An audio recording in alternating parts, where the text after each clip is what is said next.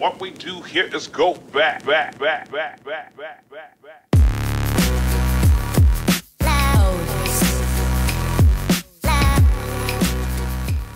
Hola, ¿qué tal? ¿Cómo están? Espero que se encuentren muy bien.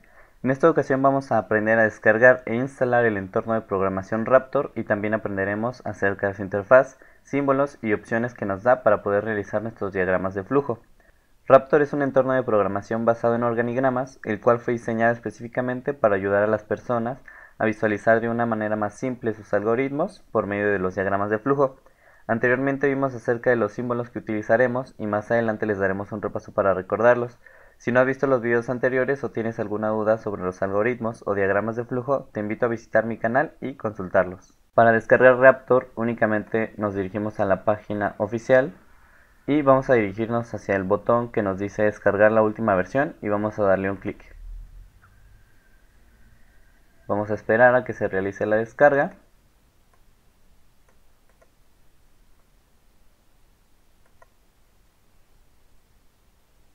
Y una vez finalizada nos dirigimos a la carpeta en donde guardamos nuestras descargas. Y nos va a dejar un archivo como el siguiente.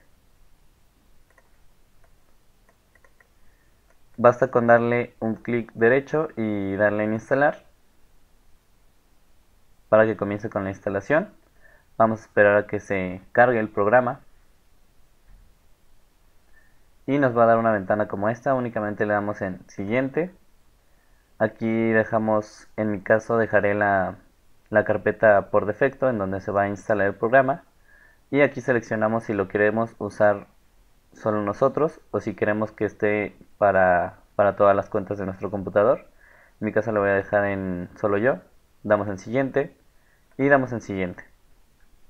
Una vez que se haya completado la instalación vamos a abrir el entorno Raptor y nada más basta con buscarlo desde el menú inicio, escribimos Raptor, le damos un clic y se abre. Principalmente nos arroja dos ventanas, una que es el, entorno en donde vamos a estar trabajando con nuestros diagramas de flujo y una consola en donde vamos a estar viendo los resultados que nos van a arrojar nuestros mismos diagramas. Del lado del entorno de trabajo tenemos el menú archivo en donde vienen las opciones clásicas de abrir, crear un archivo nuevo, guardar, guardar como, imprimir y los archivos abiertos recientemente. Después encontramos el menú edición, el cual contiene las opciones de hacer, deshacer, editar selección, cortar, copiar, pegar, eliminar y seleccionar todo.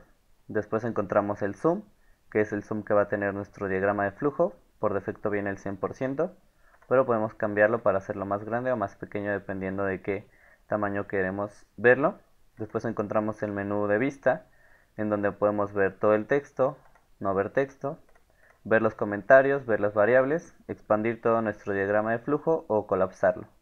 Después encontramos el menú correr que nos da las opciones para probar nuestro diagrama por pasos o ejecutarlo todo completo y que nos arroje un resultado. Nos da también la opción de reiniciar, reiniciar y ejecutar, pausarlo y limpiar los breakpoints.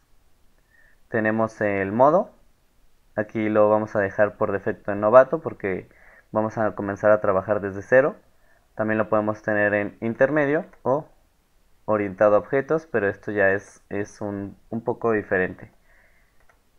Tenemos la tinta, que es el color de, de nuestro plumón, con el cual podemos hacer comentarios. Por ejemplo, ahorita está desactivado, podemos ponerle en, en rojo, tomamos la pluma y nos da la opción de, de poder escribir o rayar sobre nuestro diagrama de flujo en caso de que queramos hacer alguna anotación, algún comentario, algún texto. Tenemos la opción de la ventana, en el cual podemos modificarla para verla de manera horizontal, las dos ventanas, o verla de manera vertical, y automáticamente nos las ajusta a nuestra, a nuestra ventana de Windows. Y podemos generar a partir de nuestro diagrama de flujo, ya sea el código para el lenguaje ADA, C Sharp, C++, etcétera. Pero en este caso únicamente vamos a limitarnos a trabajar con diagramas de flujo. Y ah, por final pues tenemos lo que es la ayuda que es información acerca de Raptor y la ayuda general que la podemos encontrar pulsando F1 o dando clic en esa opción. Y que aquí podemos ver este pues una introducción a lo que es a lo que es Raptor.